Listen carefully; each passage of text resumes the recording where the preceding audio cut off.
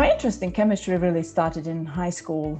Um, I always found the creative side of science to be particularly alluring and, and never, never repeat of an experiment. It is a little bit like cooking. I love cooking. Um, I love art.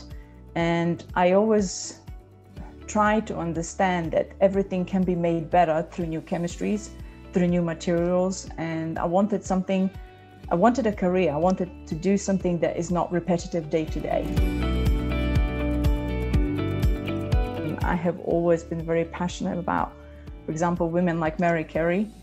Um, she inspired me. She's one of my heroes. She persevered. She did not always have it easy.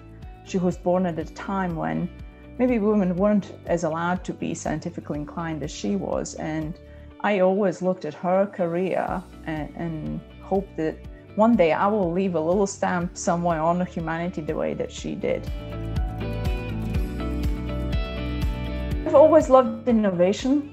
I've always loved in, in progress. Progress comes in, in many ways. If you look at the, the current trends that we're all facing and, and things you read in, in newspapers, it is around sustainability. It is around plastic recycling. It is around prevention of the pollution and, and protection of, of our natural habitats. Those are all big topics that drive me, I feel passionate about.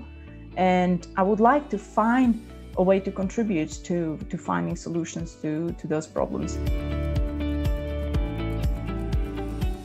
The advice I'd give young women is if you believe in science the way I do and, and you feel passionate about it, stick with it. Don't give up. It's not always the coolest choice in high school, but it is the best choice if that's something that, that you are in love with doing and it has offered many women, hopefully like me, a, a lifelong love story with, with molecules and chemistries, and, and I enjoy doing what I do every day. But stay strong and don't give up. Believe in yourself.